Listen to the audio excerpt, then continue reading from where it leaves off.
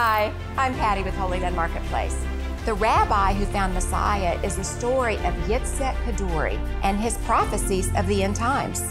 In the fall of 2005, this 108 year old venerated rabbi proclaimed he had personally seen the Messiah in a vision and he knew the name of the real Messiah and where he was going to reveal himself to the world.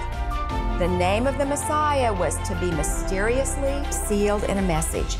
One year after his death, the message was opened and deciphered. This book is enlightening and a must read. So, to purchase The Rabbi Who Found Messiah, visit us at holylandmarketplace.com. That's all I have for today. See you next time. Will you consider joining us today as we give hope and support to God's people?